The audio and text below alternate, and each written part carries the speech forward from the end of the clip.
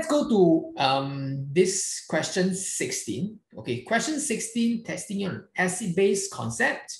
And this is scenario, right? Okay, you need to see, um, you need to quickly write down the equation for both. Okay, that's what I will do during exam. All right, so ammonium, ammonium is NH4 plus.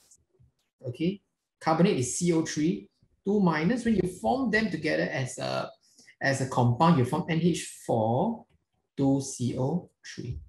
All right, when you plus HCl, right? Okay, it's a carbonate plus acid.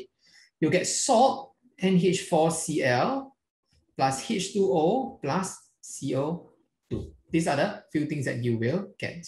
Right, times two, times two. Okay. All right, that's it.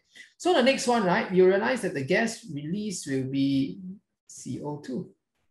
Okay, so uh, the next one, right, okay, in ammonium carbonate plus NaOH, okay, is um, ammonium salt plus base. Okay, so NH4, 2CO3 plus NaOH.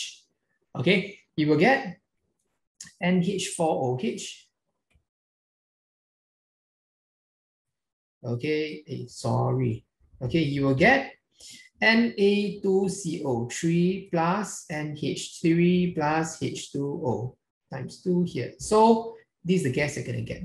Okay, this, these two are the aim of the question because you want to see how they travel, okay, how they diffuse. Okay, you realize the keyword I use is diffuse. All right, so in this case, which one will show the color? So in this reaction, right, you are really CO2, right? It's an acidic gas.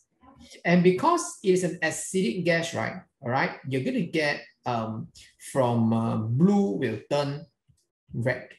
Okay, whereas okay, on the other hand, if let's say you have alkaline gas, alkaline gas will turn red litmus paper blue. Okay, so your answer is C.